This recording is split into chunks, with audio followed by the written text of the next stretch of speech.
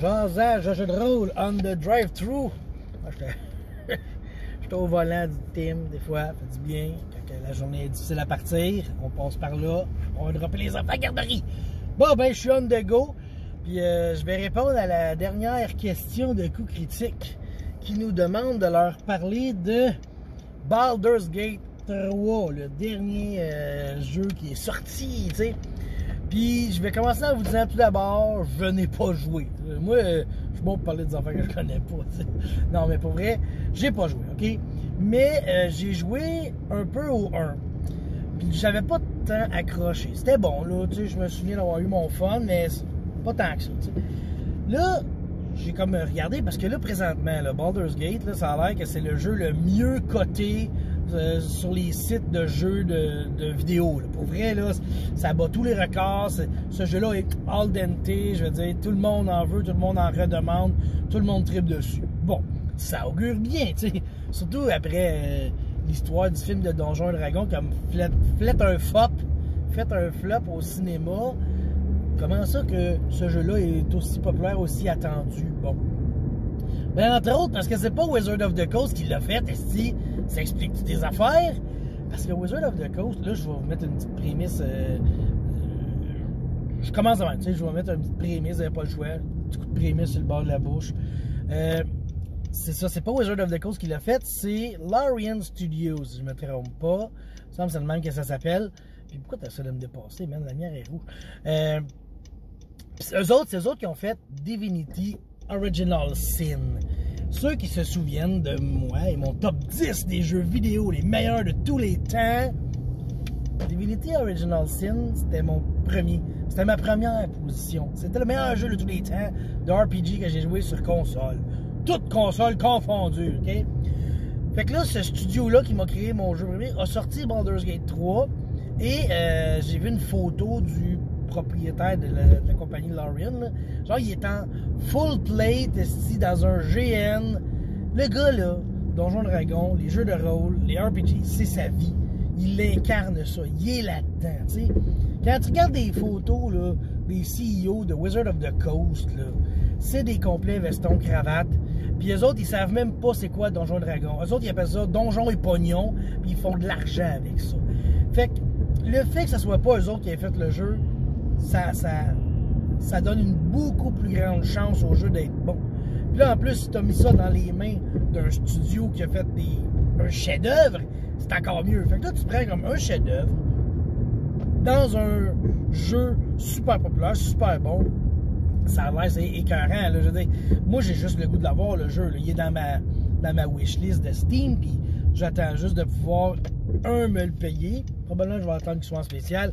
Et deux, de pouvoir jouer de manière euh, raisonnable, parce que j'ai de la misère à jouer beaucoup là, ces temps-ci. Mais tu sais, le jeu, il, ça a l'air que c'est vraiment la crème de la crème dans les jeux. Autant de jeux vidéo que RPG, que tout, là.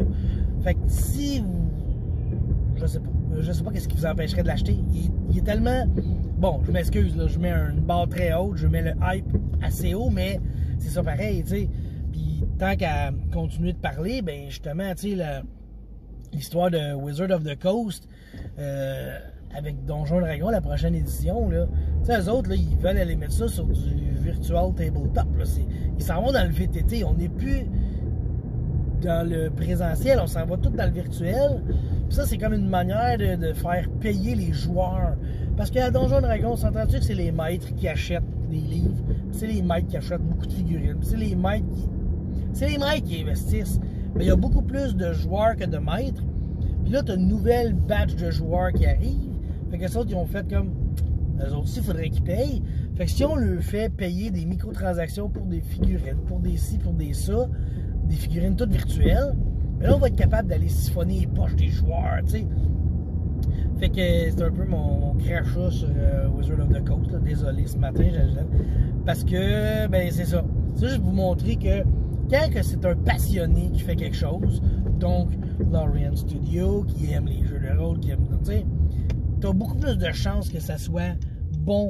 Autant, tu sais, il y a des euh, exemples. J'ai vu une vidéo, j'ai vu des vidéos de Baldur's Gate. Les graphiques sont quand même beaux, là, tu sais. Mais quand tu regardes, j'ai vu des graphiques, bon, on s'entend, c'est peut-être du bêta testing, tout, mais j'ai vu des graphiques de l'engin VTT euh, de Donjon Dragon, de Wizard of the Coast qui veulent faire, puis pourquoi je jouerais avec ça, tu sais, je sais pas, c'est pas beau. Puis tu sais, en plus, en plus, en plus, une affaire qui est un peu longue dans le jeu, mettons, on va se l'avouer dans Donjon Dragon, c'est les mathématiques. C'est tout compté, calculé. Ben, dans Baldur's Gate 3, tout se fait automatiquement. T'as rien à calculer. Tu fais ton bonhomme, puis t'as du fun, puis dans la tête, dans la when you gotta go, gotta go. T'as pas, pas de plus de, troubles que ça. Fait que j'ai vraiment euh, un, hype incroyable sur Baldur's Gate 3. J'ai juste hâte de l'essayer puis de l'avoir. Puis je suis pas mal sûr que je serai pas déçu.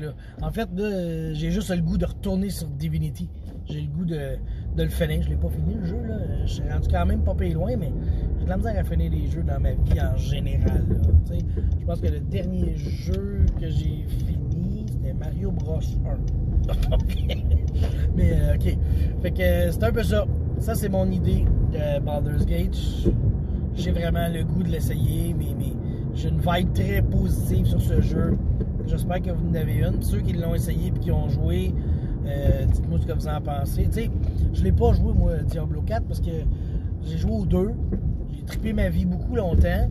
Puis là, le 3, il, était pas à la hauteur de mes attentes. Puis le 4, il m'inspire pas tant que ça. Mais tu sais, mener qu'un jeu que tu as fini, tout ce que tu fais, c'est le refaire plus dur, plus dur, plus dur, plus dur. Je trouve ça comme plate un peu. J'aime mieux quand il y a des, euh, poubelles devant mon entrée parce que le gars vidanges, il les a crissé n'importe où.